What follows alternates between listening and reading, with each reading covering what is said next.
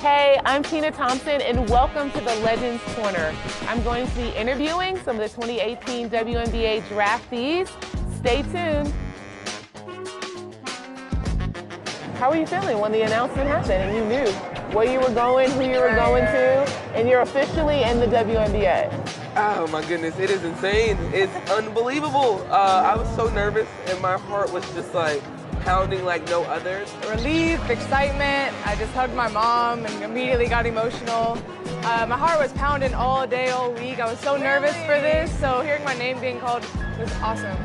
Well, first I was like, I got picked. um, but then I was like, oh my gosh, I did it. Um, you know, it's been a dream of mine forever. You know, I haven't stopped smiling. My cheeks hurt.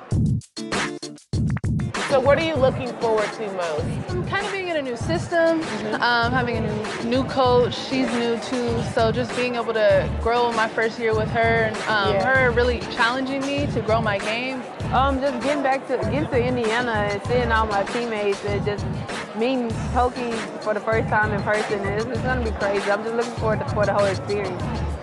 I would say just the challenge of, of the WNBA itself every single day and understanding that this is a brand new chapter where on the court and off the court, I'm gonna have to learn a bunch of stuff. I'm gonna Yeah. have to step into a new role. Um, and I'm excited for that to kind of go into adulthood and a little Yeah. bit unknown. Now, you're a grown up now.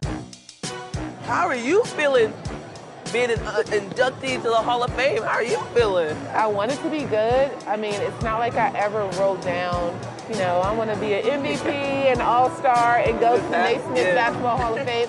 Like, it's just not something you think about. So I'm like so grateful. If I can do half of what you did as a pro, I'm I'm more than happy. So Dude, I'll take that.